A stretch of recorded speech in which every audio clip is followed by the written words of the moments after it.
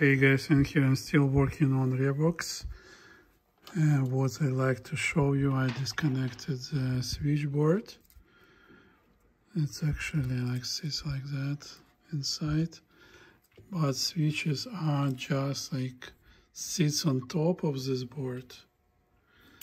And these uh, contacts, the golden like they are with springs and this large piece is moving up and down like that.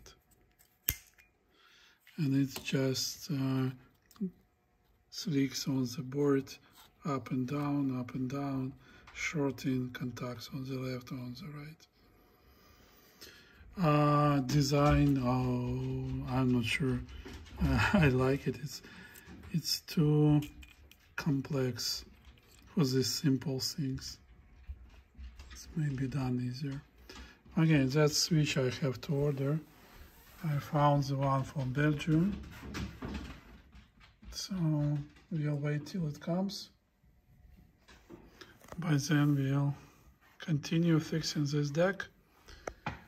I'm recapped already uh, the control board, capstans board, but looks like there are still mechanical issues.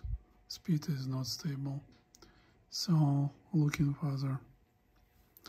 See you and bye-bye.